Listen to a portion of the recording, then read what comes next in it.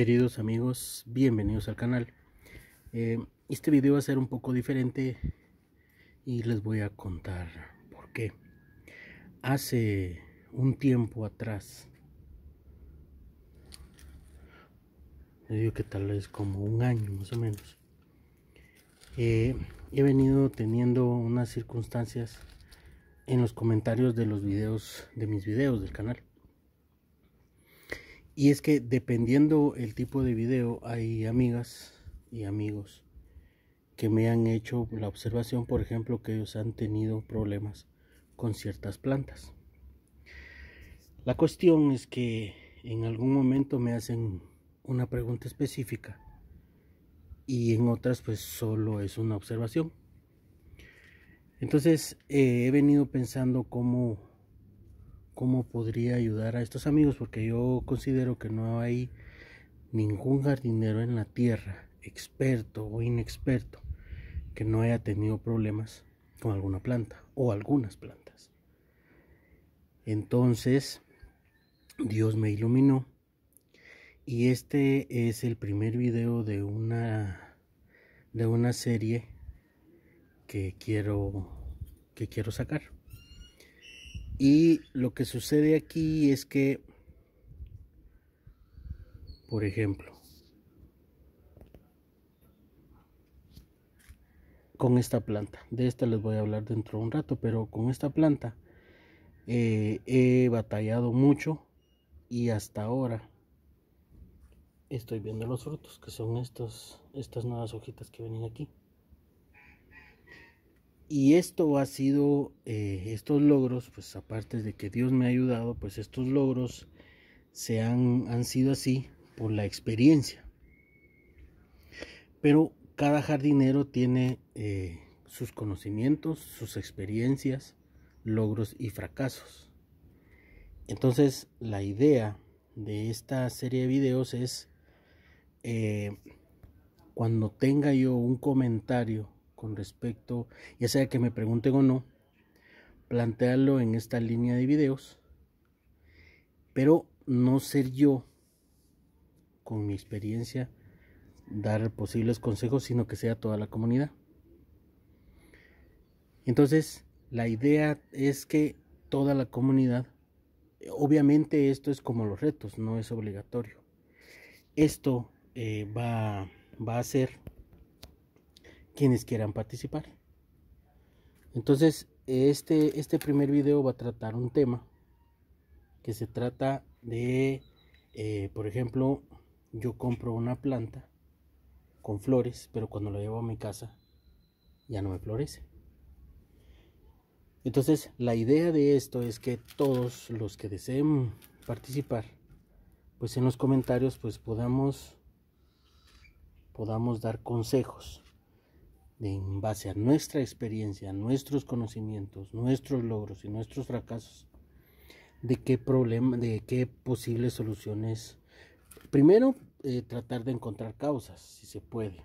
Y otra, pues, lo que más nos importa, las soluciones.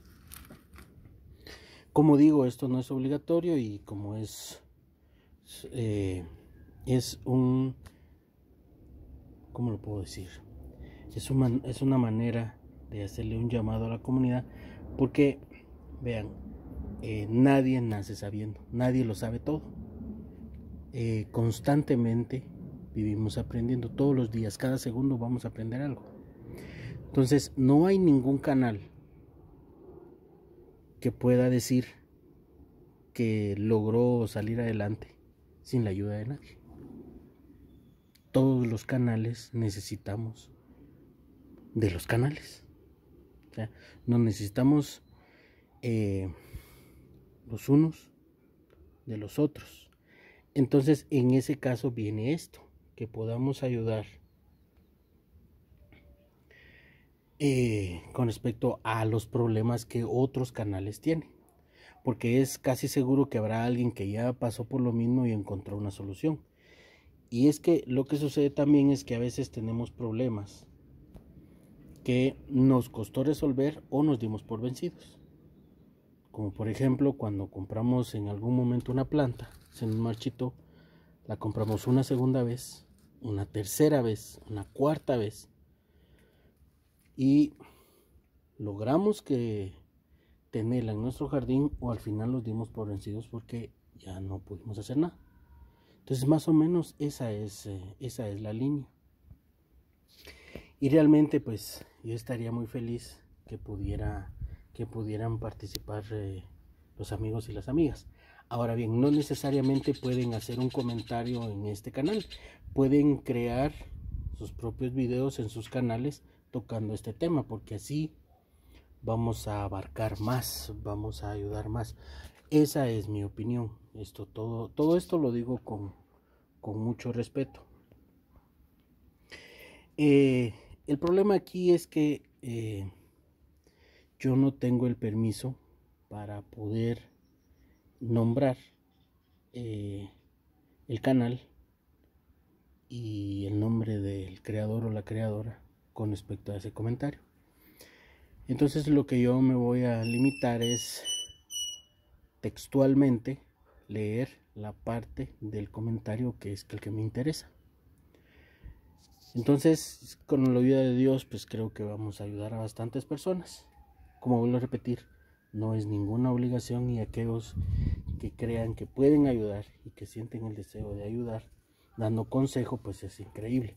Porque imagínense, cada canal es un libro con experiencias, consejos y este es independientemente si llevamos mucho tiempo con las plantas o no.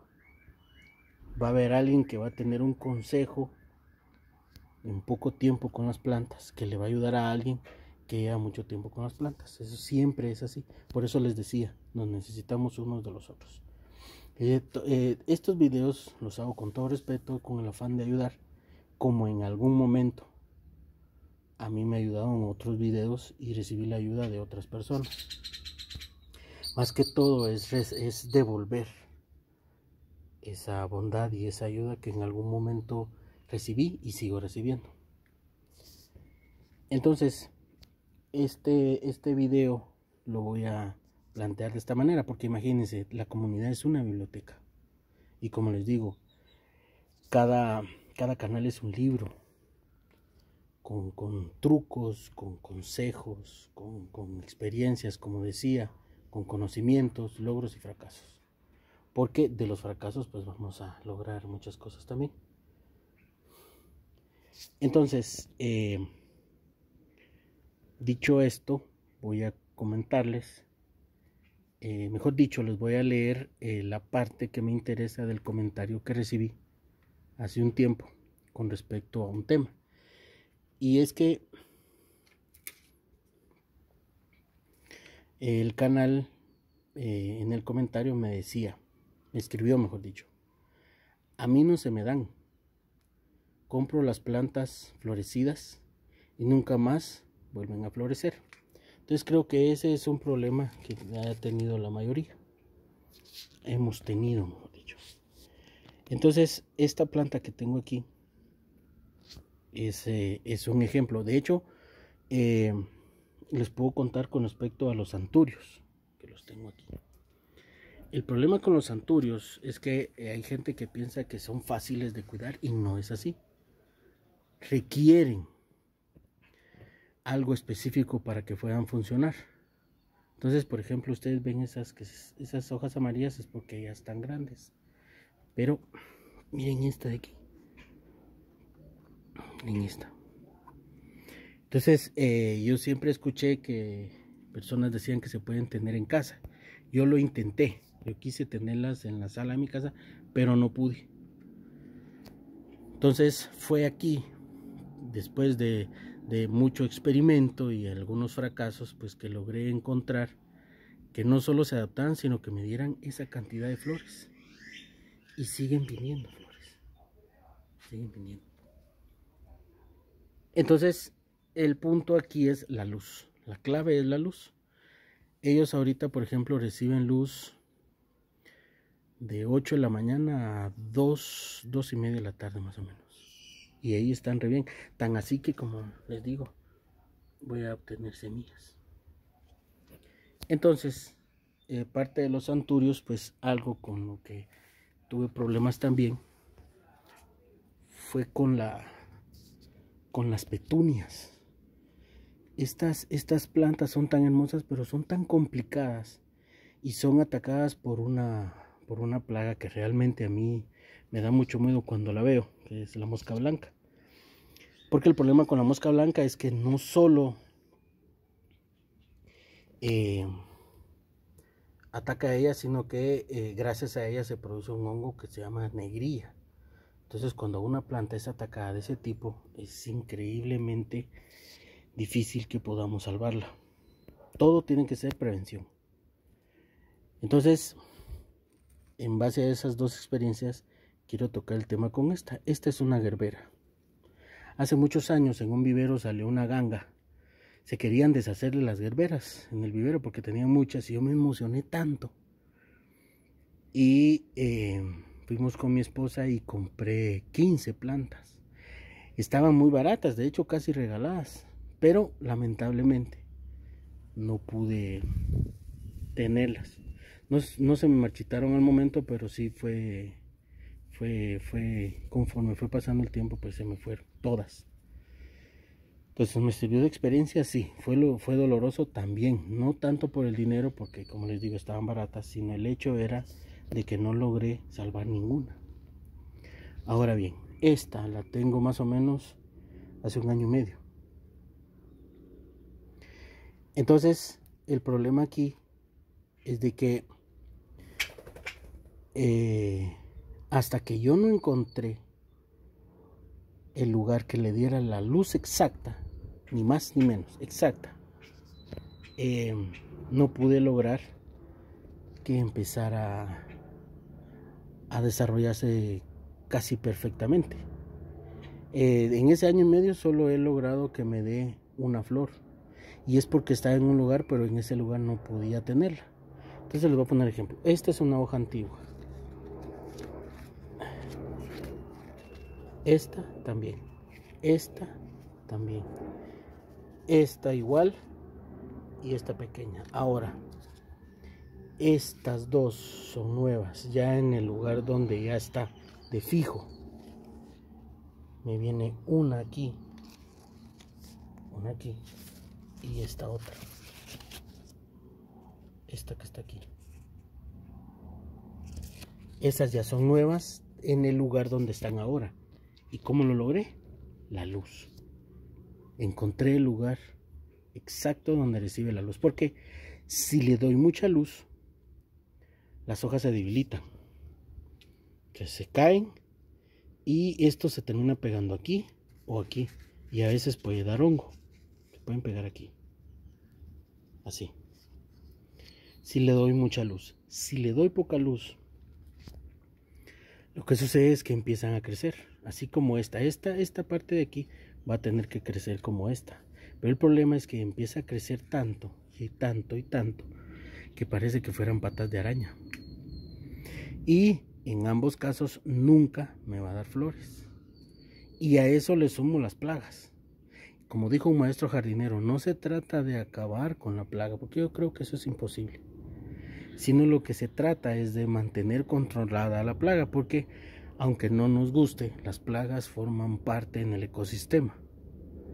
Entonces, si lográsemos eliminar una plaga, miren, y aquí está, esta es una mosca blanca.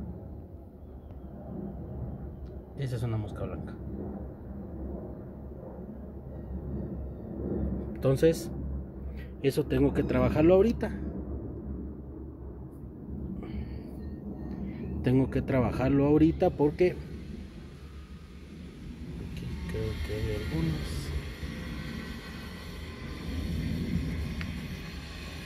Permítanme. Entonces, el problema aquí es que, como les decía, es la luz. Entonces, en ambos casos, con mucha luz o poca luz, la planta está enferma, no me va a dar flor y va a traer plagas como vieron ahorita. Solo que lo bueno es que es una, no sé de dónde apareció porque esta no tiene, esta está, está limpia ahorita. Ahorita voy a podar estas hojas, así como esta María que está, estéticamente no se ve bien, porque ya vienen estas de aquí, así como esta de aquí y están saliendo otras. Entonces, atrae las plagas, porque ese es el problema, cuando la planta está enferma es un imán para las plagas. Y he tenido problemas con los pulgones, pero para mí la peor es la mosca blanca. Entonces, ese es el problema con esta belleza. Entonces, si se dan cuenta las hojas. Ahorita les voy a mostrar otra.